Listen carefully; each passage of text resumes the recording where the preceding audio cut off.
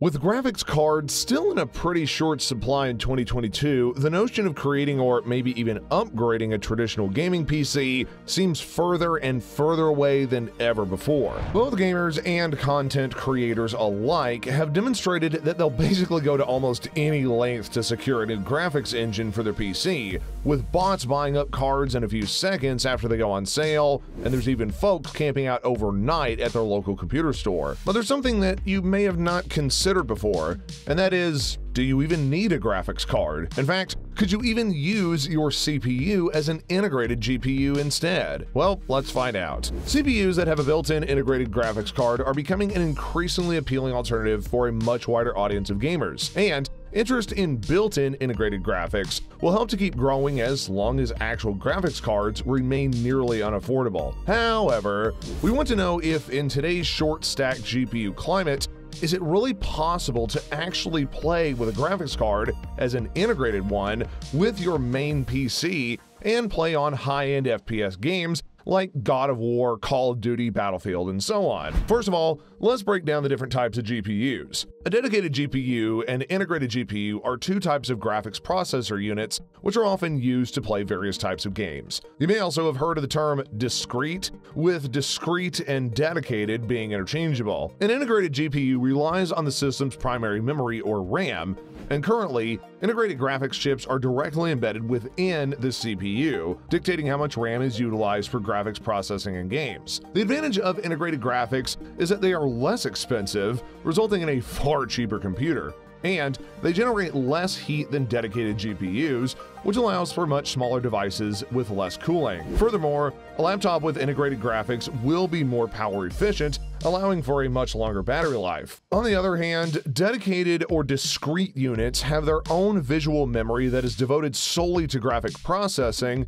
and dedicated video RAM or VRAM is faster than more traditional RAM, but also frees up RAM for many other tasks. Powerful graphics cards are more expensive and necessitate more complex power supplies. Plus, they need much more integrated cooling systems to be able to keep the cheap system from burning up entirely. Still, they're the more ideal option if you do plan to use your computer for much more heavy gaming. So, how good are integrated graphics anyways? There's still some hope if you don't want to break the bank. The built-in or integrated graphics on your CPU can still provide adequate, if not sometimes exceptional performance. Really though, it just depends upon the games that you're going to be playing, with the graphic settings you're going to be playing with, and the age of your processor overall. The main thing that you want to be concerned about here is the gaming itself, because for most other PC tasks, integrated graphics will suffice. Professional duties as well will rely on the GPU of a computer, such as graphics rendering, video editing, and GPU accelerated computing,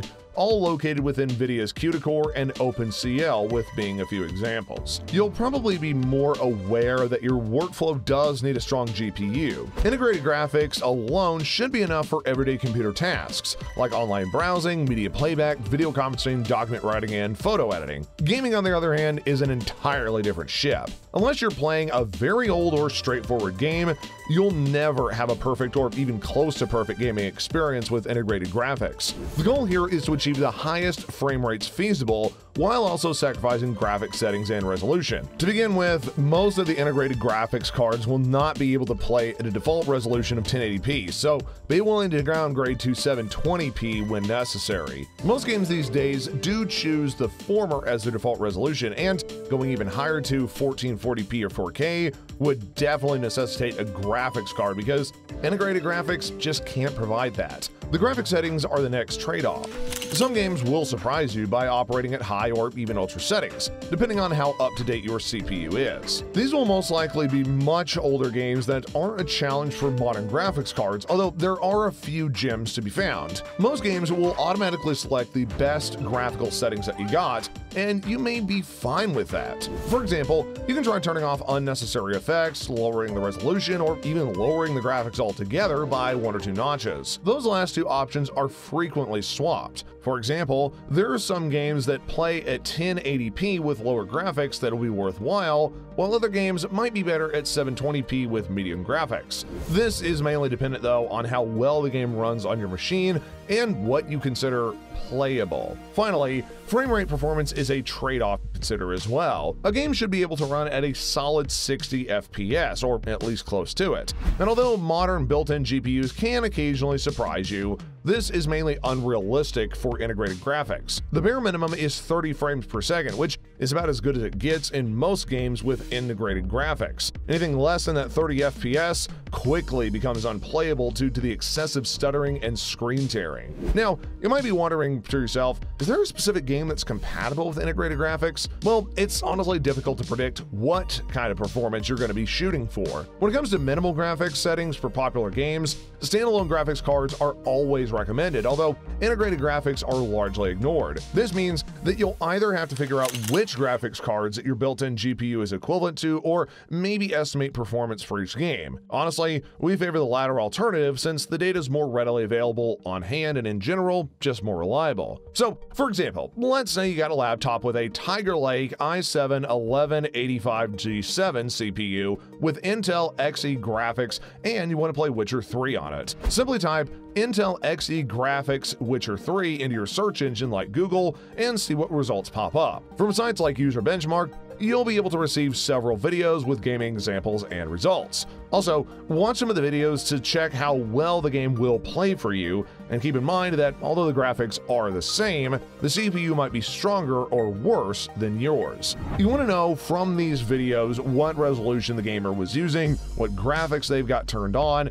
and what type of frame rate is possible while playing that game. Graphics and resolution information may usually be found in the video or of the video description, along with frame rates that are typically presented during the video. You can end up making a more informed judgment about whether it's worth your time and money once you do know what kind of performance your setup is likely to attain with a specific game. Although onboard graphics have definitely come a long way, the finest performers have really emerged recently in the past couple of years. For example, a Ryzen 3000 APU or Ryzen 4000 processor on desktops will deliver the optimum results, while laptops will benefit from a Ryzen 4000 processor or more. Depending on the game, a CPU with UHD 620 graphics or later will suffice on these. Mac users have it a little bit easier, as such few games run natively on the platform and system requirements specify which Mac generation you need. However, most Intel-based Macs built in the previous three years will function with Mac games on Steam, although those using the new M1 ARM architecture from Mac, on the other hand,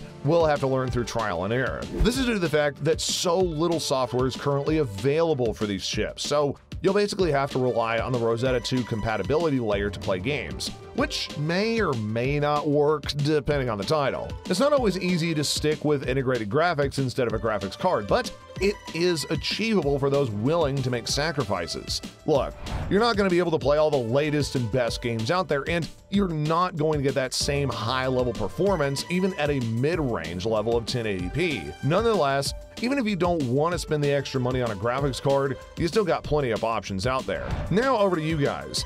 Do you have any experience using any sort of integrated graphics cards, CPUs for gaming?